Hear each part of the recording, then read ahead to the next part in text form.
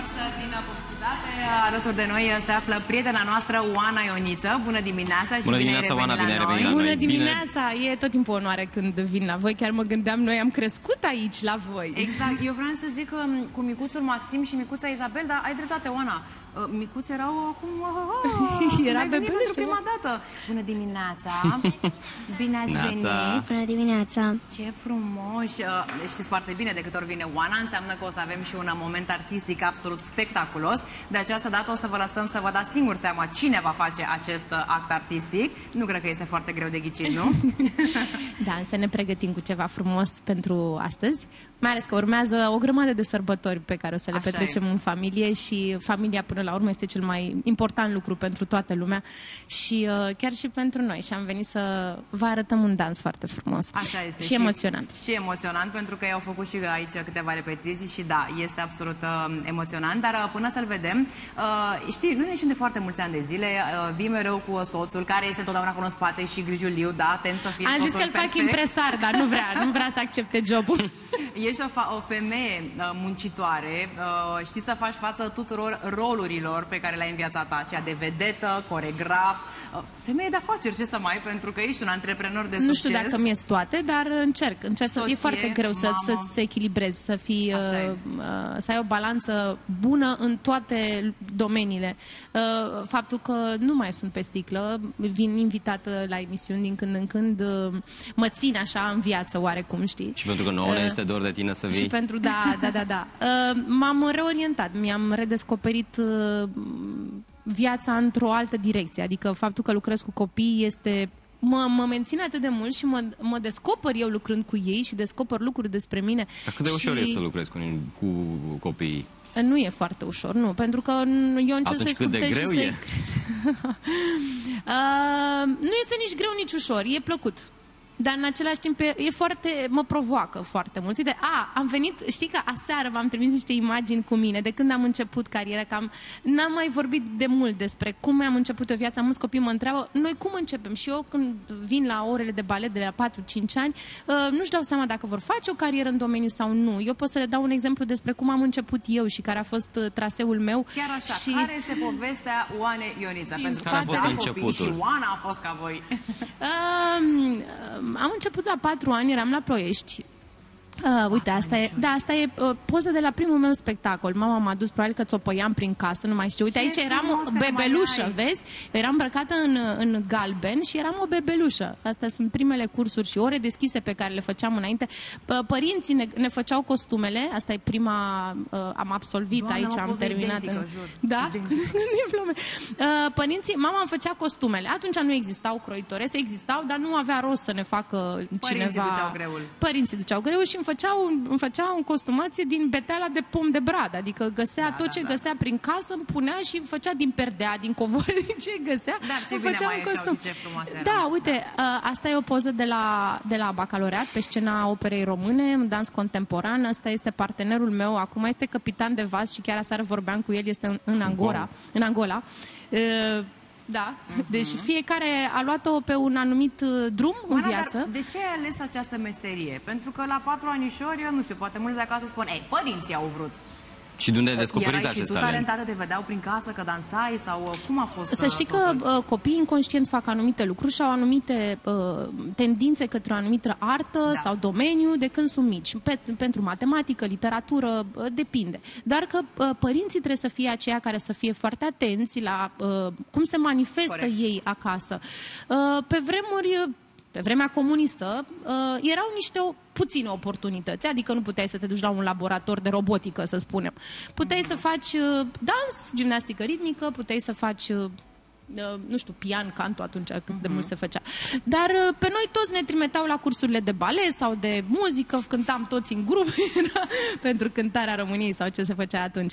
Um, Eu îmi dau seama că Uh, am început la patru ani pentru că mama a spus să fac mișcare și este recomandat ca toți copiii să facă mișcare, un gen de mișcare, un sport, uh, uh, orice stil de dans. Uh, Am început la patru ani, dar mi-am dat seama abia la 16-18 ani când am intrat uh, în colectivul operei române ca balerină uh, că asta vreau să fac cu viața mea, să dansez. Și nu știu dacă neapărat să dansez uh, la operă, pentru că îmi- îmi plăcea să fac, uh, să, asta știam să fac, doar balet. Apoi la 16 ani, când am intrat la, în teatru Constantin Tănase, am descoperit că îmi place să dansez. Este altceva. Deci da. baletul este foarte rigid și foarte conservator, uh, dar am început să înveț să dansez, French cancan, uh, nu știu, valsuri, lucruri pe care nu le descoperisem în liceu de coregrafie. Și m-am, m-am, am cunoscut uh, artiști la Tănase foarte deschiși, foarte comerciali, care mi-au deschis um, o altă latură. Și apoi am intrat în televiziune, tot la 16 ani, la, atunci era ora 1, a venit cu Duban, da, uh, da, da, bingo, da, da. Uh, eram la toate emisiunile, pentru că erau foarte multe emisiuni cu dansatori. Exact. Nu știu, acum nu mai sunt foarte mulți, în afară de te cunosc de undeva, nu Aceasta sunt... este partea frumoasă a tot ceea ce ai făcut tu până acum. Care ar fi lucrurile mai puțin frumoase? Lucrurile pe care cei de acasă nu le pot vedea sau cei care sunt în publicul spectacolelor unde tu participai. Eu știu, uh, te-ai lovit și tu de anumite obstacole, a trebuit să sacrifice timpul, familia, prieteniile, timpul tău liber, practic, pe care îl puteai petrece cu, nu știu, colegi, prieteni. Eu cred că... Eu în special am auzit uh, deseori de la marii coregrafi, nu știu dacă este adevărat, dar ci că arta doare. Este adevărat? Arta doare și trebuie să doară. Și în special și dacă, nu ai, dacă nu faci sacrificii, nu ajungi departe. Dar aceste sacrificii sunt din dorința de a, de a te dezvolta. Și eu cred că sacrificiile cu toții le facem, nu trebuie să ne plângem. Că noi, în general, ca neații, ne plângem spun. foarte mult. Dar, uh, de exemplu, picioarele balerinelor au foarte mult de suferit. Toată lumea spune să nu privești picioarele unei balerine care sta pe poante toată viața, că sunt pline. Într-adevăr, când dansează, au cu carne vie, cu rosături, cu, sunt într-adevăr, e foarte greu să stai în poante.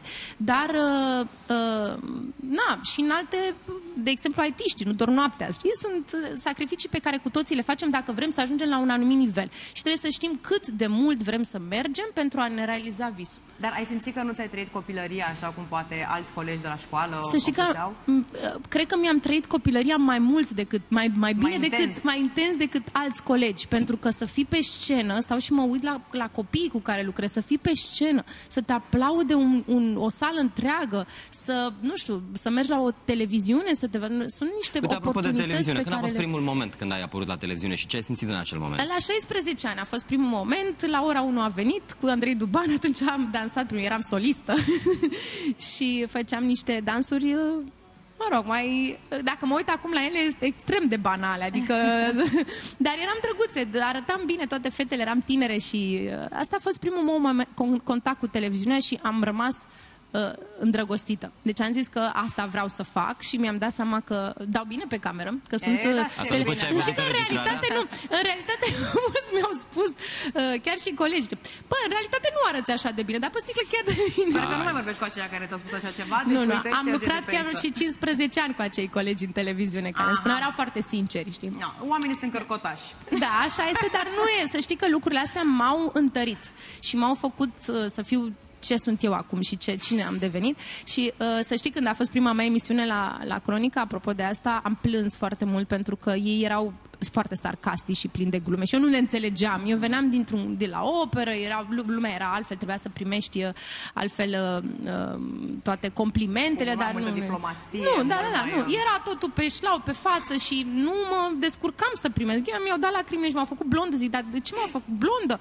Și eram blondă, era logic că eram blondă, dar da. era într-o anumită zonă dus da. toată situația. Dar, Oana, orice meserie care presupune artă, pentru că este artă ceea ce tu faci, ceea ce micuții tăi fac, uh, mă gândesc că implică și foarte multe costuri. Tu, familia ta, ați făcut față sau uh, ai simțit pe locuri că și dânsi la rândul lor au trebuit să facă anumite sacrificii pentru tine?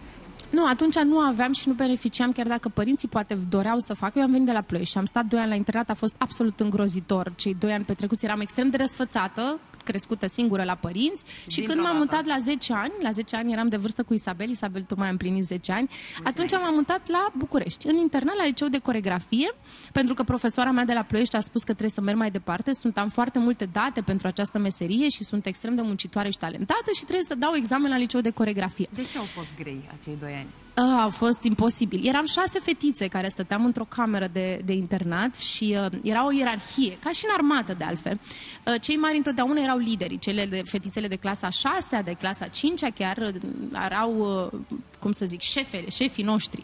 Și noi trebuia să le facem temele, trebuia să le dăm de mâncare, trebuia să facem tot ce ne cerau în, când ne cerau. Wow. Eu țin minte că am slăbit foarte mult în acei doi ani, pentru că chiar dacă mama venea și mi-aducea mâncare odată la două, trei zile din ploiești și făcea naveta, toată mâncarea era mai departe dată către colegi. Și eram obligată să fac și eu abia așteptam să rămân în internat în clasa 6 când s-a mutat, s-a mutat mama în da. București da. cu mine, să rămân în internat și să fiu și eu șefă la cei mici. Ah. Pentru că știu pe, prin ce am trecut și mi-a fost atât de greu. Deci am luat toate bolile, Ai toate m-au fost îngrozitor. în acel moment? Cumva? Da, da. Dar să știi că a fost o experiență care m-a, schimbat foarte mult. Știu că atunci era mineriada și eram pe, în, în, în internat și aruncam cu ouă și vine fiecare își făcea de cap în momentele alea o nebunie. Dar uh, uh, să știi că dacă nu treceam prin uh, uh, momentele alea, nu aș fi apreciat tot ce s-a întâmplat după Corect. sau ce a fost înainte și faptul că părinții au fost lângă mine și uh, am fost crescută într-un anumit fel. Dar să stai la internat și să dormi, să te trezești, să uh, să, ai, să faci un program singur la 10 ani este îngrozitor. Uite, apoi am citit uh, că timp de 7 ani tu ai stat uh, toate verile în Ibiza. De ce? Ce ai făcut acolo? Trecut de la internat la Ibiza a fost extra. um, ai mai crescut. Da, povestea a fost în felul următor. După ce am intrat în televiziune și mi-am dat demisia de la operă pentru că nu aveam cum să le fac pe toate în același timp. Erau foarte multe. Trebuia să mă gândesc între un salariu de 4 milioane de la televiziune, de, de, de la operă. operă. Că mă angajasem pentru un salariu de 80 de ron inițial, pe lună, și munceai și intră în toate spectacolele, dar așa era, așa erau vremurile, acum e mai bine, dar din păcate sunt închise teatrele. Uh, apoi am intrat în Teatrul Național, am fost, uh, am lucrat în musicalul Chicago, unde am cunoscut o grămadă de uh, actori foarte buni, foarte cunoscuți și foarte talentați și în același timp uh, am ajuns la Ibiza, într-o, cu un grup de, de, de cunoștințe, bă, era un casting, eu vara nu făceam nimic și am zis de ce să nu încerc, ce-o fi acolo, toată lumea vorbește. Oricum nu mi imaginam că ce am văzut este în realitate da. așa ceva. Da. Uh, acolo am cunoscut foarte mulți, aici poză cu Paris Hilton, cu Ronaldo. Uh, uh, am cunoscut o altă zonă, altă lume, um, James Blond, Puff Daddy, Uh, cred că și cu Eric Iglesias, e una da, după asta, e uh, Morillo, Eric Morillo, DJ cei mai cunoscuți din lume, asta e cu Enrique Iglesias, um, foarte mulți oameni cunoscuți de pe toată, din toată lumea. Deci aia a fost o altă zonă a carierei mele, altă... și am stat șapte ani fiecare, pentru că eram foarte uh, consecventă, foarte atentă, foarte... toată lumea venea la distracție, iar eu mă duceam la muncă, pentru că vreau să fac Queen Latifah. Vreau să fac, uh, vreau să fac bani. Știi, interesul meu era să muncesc, cred că au fost în prima lună, n-am, nu, în, primul, în primul sezon, n-am avut nicio zi liberă, deci munceam în fiecare zi, chiar dacă eram bolnavă, chiar dacă eram orice se întâmpla. Dar sunt eram... sigură că era și foarte multă pasiune și dragoste pentru ceea ce uh, făceai. E... Uh, și apoi ai cunoscut și iubirea care ți-a adus împlinirea. Ia spunem tu mie ceva despre începutul vostru. A, uh, cred că după ce am trecut prin toate experiențele și nebunia din viața mea da, și... Le-ai bifat. Le-am bifat. Check, check, check, exact. check. A trebuit să trec într-un moment, în, atunci mi-am deschis și școala și sala, am zis că trebuie să mă așez la casa mea, mama zicea, nu o să-ți găsesc pe nimeni, tu ești așa, o să rămâi toată viața, că ești complicată, ești dificilă, ești, ai tabieturile tale. Și l-am cunoscut pe Florin, care are foarte multă răbdare și calm cu mine. Uh, mă lasă să-mi fac, să fac, să fac toate tabieturile și tot ce vreau. Asta da. e, e un lucru bun, știi? Pentru că într-o, în orice relație trebuie să existe un echilibru și poate unul este mai zbuciumat, poate unul mai calm, poate trebuie tot timpul să găsești. Nu există o rețetă e pentru așa ceva. la un botez? Ne-am cunoscut la un botez și am fost amândoi, uh, stăteam la aceeași masă, singurii de la masa respectivă și cum am ajuns unul lângă celălalt și am început să povestim și din vorbă în vorbă ne-am zis că el își dorește o familie își dorește copii și uh, eu îmi doresc o familie și... Și cum sunt acele efecte adică de pe TikTok? Oana Nița și Florin spun uh, dorim o familie, noi da. facem așa din degete și, și apărăm, ia uitați tam, familia. Pam, pam, pam, Sunteți pam, o familie pam, pam. de nota 10 și uh, vă dorim să rămâneți așa, optimiști, uniți, muncitori, așa cum vă știm de atâția ani de zile. Mulțumim frumos. Uh, Maxim, se poate măcar un pupic la cameră, ceva, că nu putem să trecem Are fără un pupic atât de dulce. Da? Bine? Ok. Ok. Ai vrea să aveți grijă de voi. Oh. oh. Stai care și mesaj, nu e chiar așa. Oh, mai vrei să ne spui ceva? Mm. Ah. Ai vrei să ne mai spui ceva? Ce ți-ai pentru Crăciun? Ți-ai scris și a scris o scrisoare de curând E pentru cred că un moșul. mesaj de important. Pentru moș și ce ți-ai Nu, scris? pentru că pentru Moș Crăciun. Și ce îți dorești tu de Moș Crăciun? Scuză-mă că intervin, dar e aici. Nu știu. Numai că ți-ai scris acolo, ai scris în Nu scrisoare. dezvălui secretele pentru că Moș Crăciun o să vadă lista. Isabel, draga noastră, te, te invităm în uh, centru acolo. Ai emoții? Nu ai emoții. Succes, ești foarte, foarte Mulțumesc frumoasă. mult. Am văzut puțin din momentul tău în pauza de publicitate, dar te invit Abia acum așteptăm să-l uh, vedem pe în tot. centrul platoului și uh, vedem acum un număr absolut spectaculos și uh, emoționant.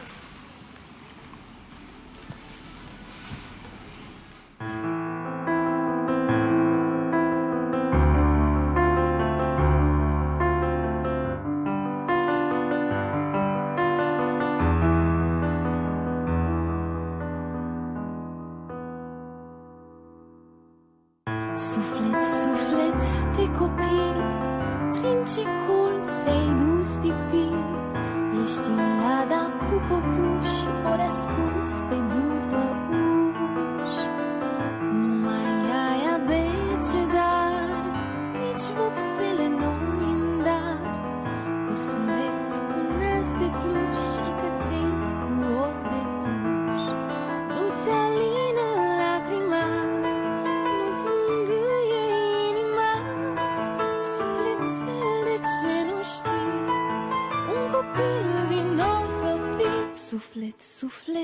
difficulty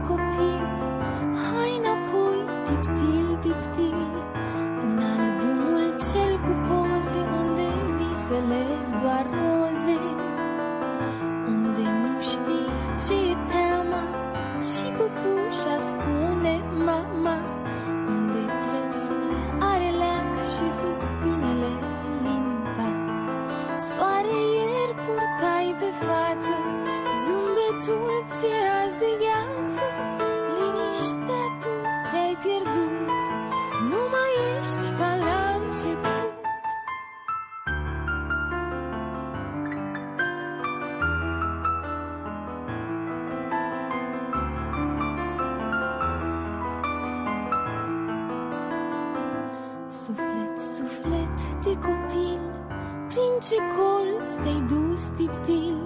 Sufletel, de ce nu știi Un copil din nou să fii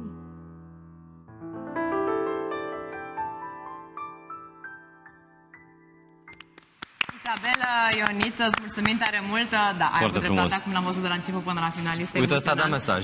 Felicitări uh, și uh, Doamne ajută să ajungi acolo unde îți propui, pentru că este o fată foarte, foarte, foarte talentată. Mulțumesc Bravo. mult. Și noi îți mulțumim, Oana Oana, îți Mulțumim mulțumim. frumos și- Maxim, și... tu să ai grijă de tine, da? Uh, și el se Promiți? pregătește cu un moment intens uh, din Billy Elliot. E o surpriză pe care, de fapt, se pregătește împreună cu tati. Și o să-l vedem aici în platou, da? Să sperăm. Uh, da, da, da. Perfect. E, a zis când o să fie momentul uh, gata, o venim cu mare drag. Și Așa rămâne. Asta a fost simbolul nostru al copilăriei. Am Chiar vreau stabilit. să vă zic despre despre moment. Simbolul nostru al copilăriei când se închide și nu mai este într-un cub și pleacă de lângă noi și cu toții ne dorim să revenim la acel cub și la acel uh, spațiu unde, unde ne regăseam și eram alături de familia noastră și suntem în continuare, dar că nu mai suntem copii, nu mai avem dreptul Ba, de da, mult. suntem, suntem copii în continuare și Suntem copilăriți copii. pentru că tare frumos este. Mulțumim Da, tare mult încă o mulțumesc dată și vă frumos. așteptăm cu drag la Mulțumim noi.